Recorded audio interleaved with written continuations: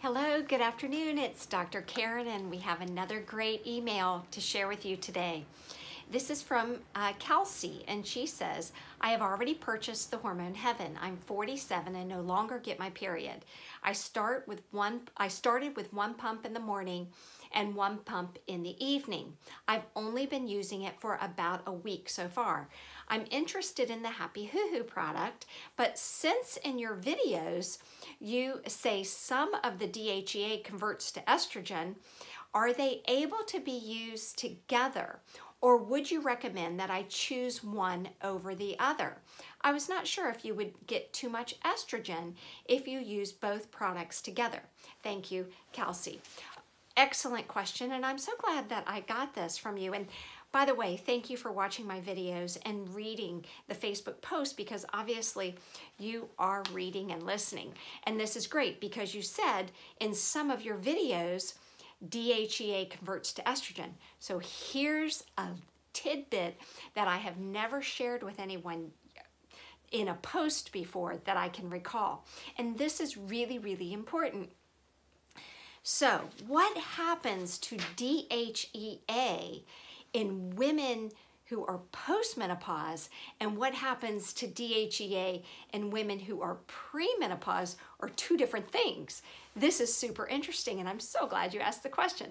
So if you have not been through menopause, now remember menopause is a whole year without a period, okay? So if you have not been through menopause, your DHEA is converted to both testosterone and estrogen, estradiol and estrone.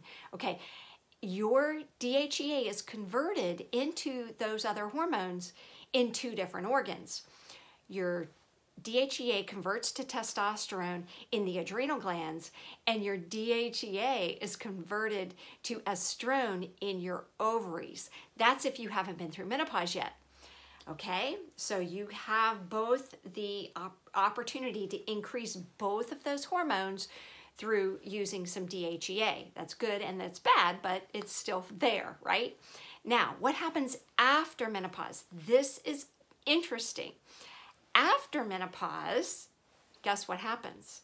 DHEA hardly has any conversion at all to estrogens at all. It does, however, convert to testosterone in the adrenal glands.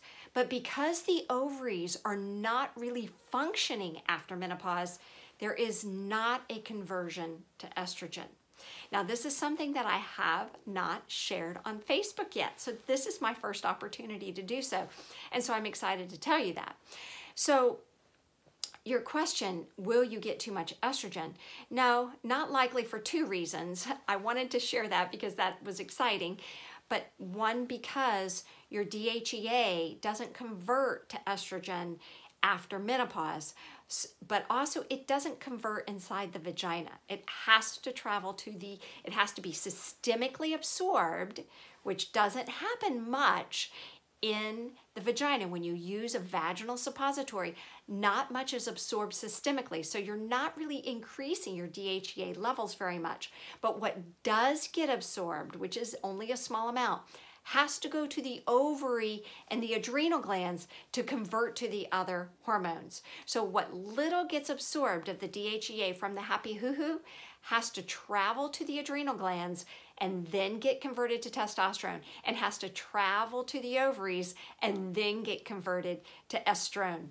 Now, so after menopause, that won't happen. You'll get a little higher, tiny, tiny, little bit higher testosterone, but you won't get any estrogen. Um, and this happens the same. This is the same if you take DHEA orally. And this is why I was excited about your question because I got to answer something that I had not yet answered before. Okay, so I hope that helps you and I will see you soon. Keep sending the questions. Bye-bye.